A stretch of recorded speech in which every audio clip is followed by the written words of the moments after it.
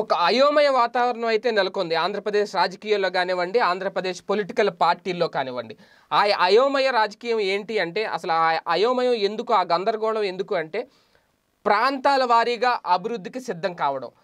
ప్రాంతాల వారీగా రాజధానులు ఏర్పాటు చేయడం. ఒకటి కాదు మూడు రాజధానులు ఏర్పాటు చేస్తానని చెప్పి ఒక అభిప్రాయం వ్యక్తం చేయడం ఏర్పాటు చేసే దిశగా కమిటీ నివేదిక కూడా రావడం.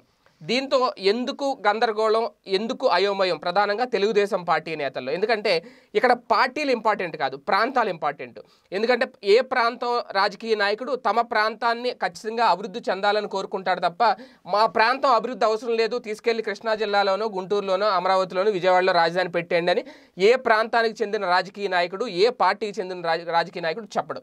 ఇక్కడ జగన్ గారి స్ట్రాటజీ అదే. సో మూడు రా ప్రాంతాల్లో రాజధాని ఎప్పుడు పెడతామని ఎప్పుడైతే ప్రకటించారో చాలామంది కీలక నేతలు. ఒకప్పుడు జగన్ గారి నిర్ణయాన్ని వ్యతిరేకించిన నేతలందరూ కూడా ఇప్పుడు ఎటూ కాకుండా అయోమయంలో ఉండి ఒక గందరగోళ పరిస్థితిలో సైలెంట్గా ఉండిపోవడం.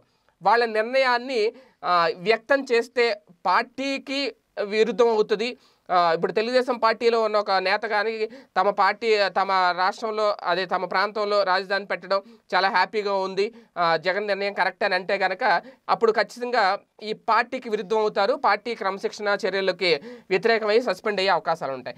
అలాగని తమ ప్రాంతంలో రాజధాని వద్దు అని వాళ్ళు స్టాండ్ చెప్పలేరు. పార్టీ స్టాండ్ అని వాళ్ళ నోటి నుంచి చెప్తే కనుక అది కూడా అక్కడ ప్రజలకు వ్యతిరేకం అవుతారు. స్థానికంగా ఉన్న ప్రజలకి. ఎందుకంటే స్థానిక అభివృద్ధి అనేది ఖచ్చితంగా ప్రతి నాయకుడికి అవసరం. తమ ప్రాంతాన్ని అభివృద్ధి చేసుకోవడం అనేది చాలా అవసరం. సో ప్రజల్లోంచి వచ్చిన వ్యక్తి కాబట్టి ఇది ప్రజాస్వామ్య పరిపాలనలో నాయకులు అవుతారు కాబట్టి ఖచ్చితంగా ప్రజాస్వామ్య పరిపాలనకి అనుగుణంగా మంచిగా ఏమన్నా అభివృద్ధికి సంబంధించిన నిర్ణయాలు ఉంటే ఖచ్చితంగా వాటిని స్వాగతించాలి. ఇప్పుడు తెలుగుదేశం పార్టీ కీలక నేతలందరూ ఇదే అయోమయంలో ఉన్నారనేది ఒక మనం గమనించాల్సిన విషయం. ఎందుకంటే వాళ్ళు ఒక పక్క పార్టీకి వ్యతిరేకంగా మాట్లాడలేరు అలాగని జగన్కి వ్యతిరేకంగా తమ నిర్ణయం చెప్పలేరు. చెప్తే కనుక ఖచ్చితంగా తమ ప్రాంత అభివృద్ధికి వాళ్ళు శత్రువులుగా మారిపోయినట్టు అవుతుంది తమ ప్రాంత అభివృద్ధి వద్దు అని వాళ్ళు చెప్తున్నట్టు అవుతుంది. ఎందుకంటే ఉత్తరాంధ్రలో రాజధాని ఏపీ క్యా క్యాపిటల్ ప్రధానంగా అందులోకి ఎగ్జిక్యూటివ్ క్యాపిటల్ పెడితే కనుక అది స్వాగతించాల్సిన విషయమే. దాన్ని కాదని అనలేరు. అలాగే రాయలసీమ. రాయలసీమ అభివృద్ధి సంబంధించి అక్కడ హైకోర్టు ఏర్పాటు చేస్తే కనుక ఎప్పటి నుంచో కోరుకుంటున్నారు. జ్యుడిషియల్ క్యాపిటల్గా అది ఉంటే కనుక రాయలసీమ చాలా అభివృద్ధి చెందుతుంది. దాన్ని వద్దు అని అనలేరు. అలాంటి వాళ్ళలో తాజాగా కేఏ కృష్ణమూర్తి ఆయన మాజీ ఉప ముఖ్యమంత్రిగా చేశారు తెలుగుదేశం పార్టీ హయాంలో. టీడీపీ సీనియర్ నేత. మొదట్లో ఈయన హైకోర్టు కర్నూలులో హైకోర్టును సమర్థించారు ఆయన అప్పట్లో. అయితే ప్రస్తుతం తాజా ప్రకటన ఏదైతే ఉందో కర్నూలులో జ్యుడిషియల్ క్యాపిటల్ ఏర్పాటు చేస్తున్నాం అనేది దాని మీద ఆయన ఇప్పుడు స్పందించట్లేదు. ఇప్పుడు స్పందించట్లేదు. ఎందుకు అంటే స్పందించట్లేదు పైగా సీఎం జగన్ ప్రాంతీయ విభేదాలు రెచ్చగొడుతున్నారు అని ఒక ప్రకటన అయితే చేశారు. అంటే దాని అర్థం ఏంటి అంటే కర్నూలులో హైకోర్టు వద్దని చెప్పలేరు.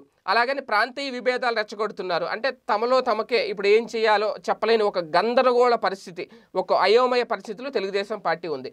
ఆ పరిస్థితికి వైసీపీ ప్రభుత్వం జగన్మోహన్ రెడ్డి గారు ముఖ్యమంత్రి జగన్మోహన్ రెడ్డి గారు ఆ పరిస్థితికి వాళ్ళని నెట్టేశారా? లేదంటే ఆయన తీసుకున్న నిర్ణయం వాళ్ళని ఆ పరిస్థితికి తీసుకెళ్ళింది అనేది ప్రజలే డిసైడ్ చేసుకోవాలి. ఏదేమైనా ఒక మంచి నిర్ణయం తీసుకున్నప్పుడు ఇలాంటి అయోమయం గందరగోళాలు అనేవి ఉంటాయి. కాకపోతే ఆ గందరగోళ పరిస్థితి నుంచి ఒక ఒక డెసిషన్ అయితే తీసుకోవాలి. అది ప్రజా ఆమోదయోగ్యంగా ఉండాలి. మరి ఆ డెసిషన్ తెలుగుదేశం పార్టీ నుంచి వస్తుందో లేదో చూడాలి. స్టేట్యూన్ మీరెక్కడున్నా ఏం చేస్తున్నా ప్రపంచంలో ఏం జరుగుతుందనేది ఇప్పుడు మీకు పెట్లోకి తెచ్చేసింది one line app.